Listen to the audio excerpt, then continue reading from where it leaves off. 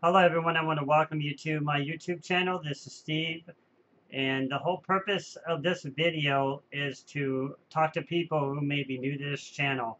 First of all, I want to welcome you to my channel and if you're here looking for programming with uh, Commodore 64, if you're here to look for assembly language with Commodore 64, sometimes with the Atari, you're in the right place. I want you to know that. So also there's a lot of great people here that can answer questions for you in the comment section and just people I have connections with. The whole purpose of this video obviously is to help people who may not know how to get software or your programs basically off of your Commodore 64 to the desktop. Now on this channel what I do a lot in this channel is you'll see me actually using what's called the Vice C64 emulator. It's a built-in Commodore 64 emulator that you can download directly to your Windows desktop, your Macintosh, or even Linux to run directly inside of you know your operating system like Windows 10, Windows 7, whatever version you're using, whether you know Mac OS or whatever. And then this will allow you then to basically be able to take programs that are not on your hardware per se, but that are on your desktop or even on GitHub or something you find on the internet to access and download to your computer in what's called a D64 file, a disk image file. And we'll go over that more in the video. So let's get started with that. And I really want to thank all the people who've subscribed to my channel and all those who are out there who are still confused about it and maybe new people coming to the channel. Watch this video. I think it's going to be very helpful for you. Okay, so straight from Google, what you're going to do is just type in Vice C64 emulator. It'll be the first one at the top here. You'll want to click on it. It'll say vice-emu-sourceforge.net. That's a good way to download it. I don't think there's really any other site that would probably be appropriate. But this is where I downloaded it. And it'll take you right to the Vice site. So this is actually it. And then you're going to click on the download link here. Or the download um, tab. And then it depends on what kind of version you have, whether you have, you know, whatever kind of version you're having here, Windows, Microsoft Windows, and then there's some different stuff here, 64-bit, um, 32-bit. Um, so you just want to go for the most simple one. You don't really want to, and here's for the Mac down here, for Linux, you know, MS-DOS and whatever. So I would just click on the top one. Usually that's the most updated version. I don't really see anything else in here. There's a manual you can download here too, but I don't really see anything else you wouldn't really need a 64 version. I just use the top one here. And when you click on it, it'll start downloading here. I'm using um, Firefox, so mine will download here. I must have clicked on there. It's kind of downloading it right now. There it comes. Takes a second to pop it up there. I was trying to minimize the window so you can see this. So if I move this over here, so you can basically download it right here. Just click on OK.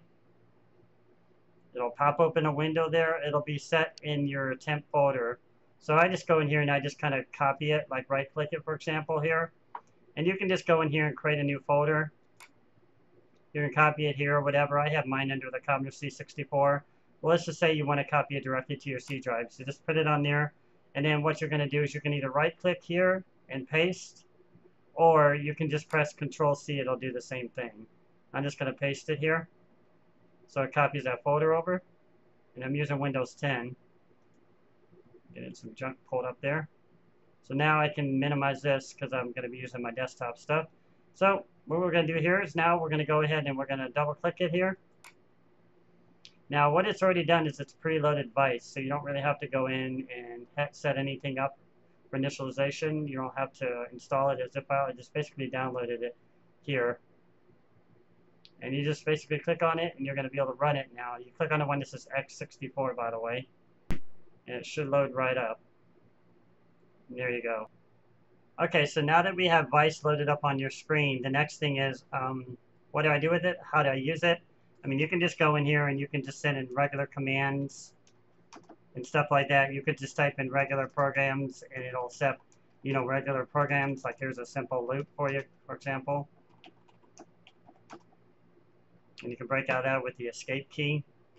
Um, there are setups you can do directly into it, but what we have to be first, if we create a file here, we have to be able to save it. And what we're going to do is we're going to click on the File menu here, and you'll see it, it says right here, um, attach disk image. Now this is for if you're using a tape, but obviously for a desktop we're not going to be doing that. We're going to be um, attaching it to a disk image. A disk image is just a file that's going to basically recognize it to be able to translate it on your computer so that you can run it inside of Vice. And we're going to um, create, what we're going to do is now I've got my own ones in here. Since I've already created this one, I'm going to go in to the actual Vice folder that we created. And we're going to go ahead and we're just going to go ahead and create a new image here. So we can go down here and create the image. We're going to create a a file name for it. Um, we'll just say first program, something very simple. And then down here is where you set the D64 depending on the type of device that you have. You can just leave it to a default of D64. There's really no reason to go in and change any of these unless, of course, any of these would apply to you. And you create the image. And it will show right down there. Now what you have to do is once you've created the image, you want to select it. So the first time it's selected and you want to attach it. Now once you've detached it, it's the same thing as putting a disk in your drive and now the computer can see that you have a directory you can save to. So if you go in here and you type in load string, comma 8, you'll see it says searching for dollar string and you can see that it's now initialized the D64 to use and save programs. So we could go in here now and we could save a program. Let's just make create a simple program. We'll just call it simple program.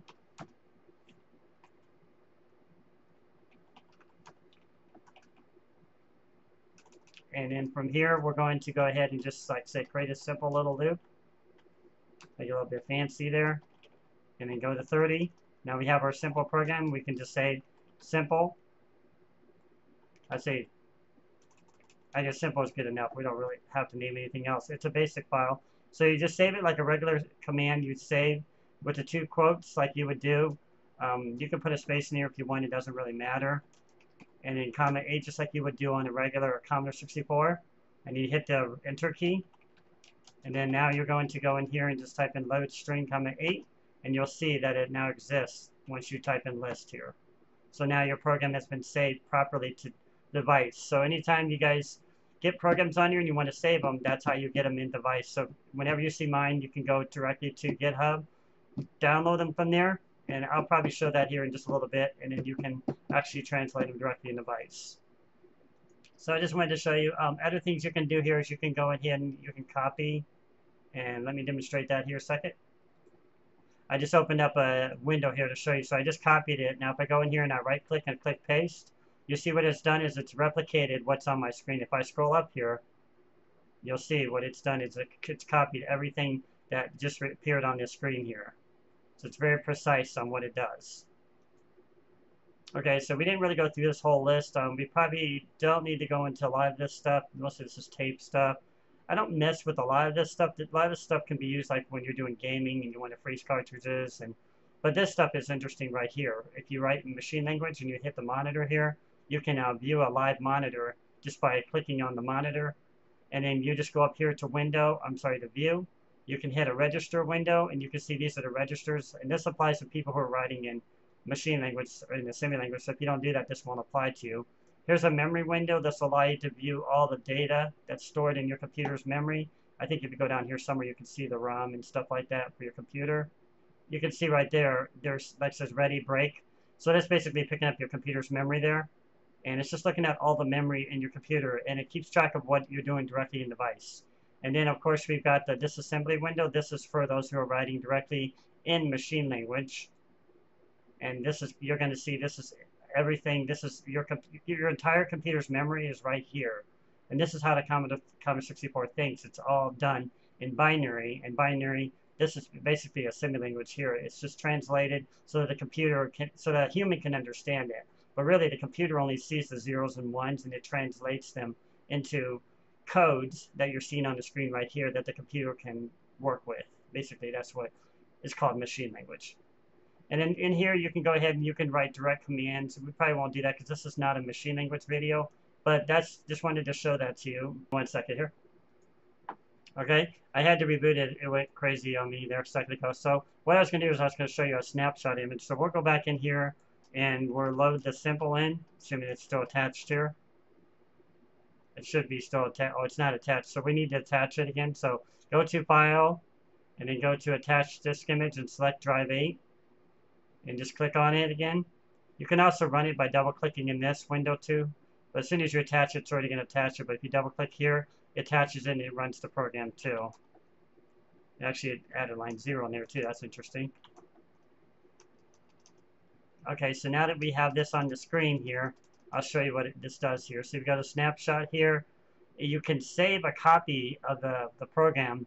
If, for example, if you don't want to lose it, and let's just say we'll just erase this, for example, since we don't need this anymore. And let's just say you type in something and you wanted to save a snapshot image. You just go here to Save Snapshot Image. You could save it as a file here. I don't usually use that a lot because I don't really need to store it as a file. What I do is go down here instead and I just um, save quick snapshot image.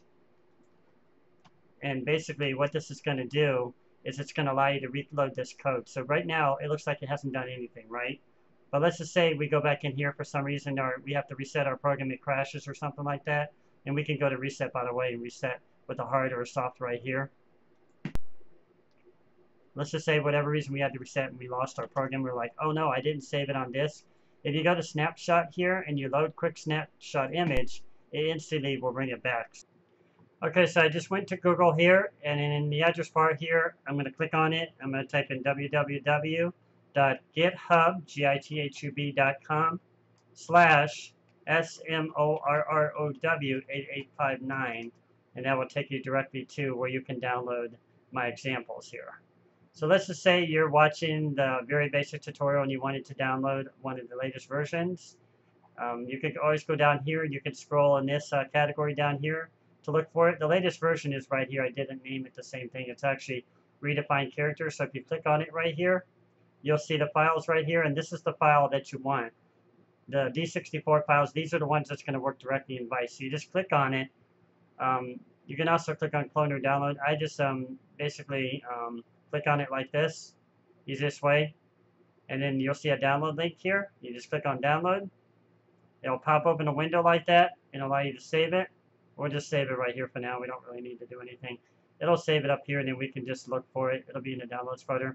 If you're using Firefox, I just click this little arrow here and it'll pop open like this and you can open it back up. But the easiest way to do is now, it, it should have saved it on here, and I don't think I made this large enough where you can see it. It should have basically just saved it. I just go down here to the file, or you can go to the Windows here, and you can look for your file folder. It'll say File Explorer. I'm using Windows 10 there. And you should be able to go right here. And there it is. C64 very basic 1. Mine's saying 1 because I've already downloaded a version before. Yours might just not have a 1 in front of it, but you just go here and you copy it like this. Now that we've copied it, we can move it over to where we can get it more easily in Vice. So you can just go back to your C drive or wherever you want to create it. I'm just going to stick it back in the same folder, not to make this too complicated. And we'll just save it directly in the folder where Vice is here. And you'll see it appear right here, after we've saved it. Right there. So now, we go into Vice here once more. We go to the File, you can also hit the uh, uh, shortcut hit hold the Alt key, press the eight, press the hold the Alt key down and press the number eight, and it'll still load open that window there for you to attach the disk image, and you'll see it popped right up this time. So here's our original, and then here's the D64 files. So now we have access to all the files that are on my um, my GitHub there. You just go in here, and you can load them, just like before and it's going to look at that new disk image file that we just um, attached to it. Now you can see they're all right here, and you can easily load in any example. So if you wanted to load in the redefined character set, you can just go load, redefine, it was 2. Oh, no, no, it's not 2, I'm sorry. That's the, well, that's the original, but this is the, the demo. If you wanted to do the demo, it's, uh, I think it's that one right there. That's the most recent video I put up for the redefined character set. And now it's loading it. It'll take a second. And you can list it to see it's there. And you can see that it is now loaded directly in the Vice. And you was able to download this from the website and get it up and running there. Run it, of course. just to see it run running working in Vice.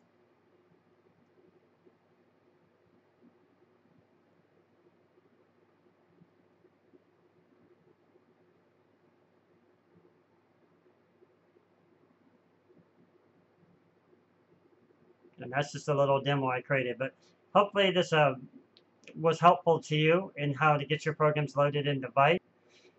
So that's the whole purpose of using Vice, to be able to get programs from whether it's on the internet or programs on GitHub or wherever you can get to them or just typing them directly in. And that's how you can get them into Vice and you can save them. So now you should be able to get things going on your desktop computer. Now, much later when I get the 1541 Ultimate 2, I'm planning to show you how to upload them from your basically your computer to your desktop, but that's going to be in another session. For now, I just want to make it really simple for people who want to know, and I'm going to cut this video short so I don't make it too much longer for this one. So thanks for watching. I appreciate all your likes, favorites, subscribes, and any questions you have, just throw them down in the comments, and we'll get this rolling. Have a good day.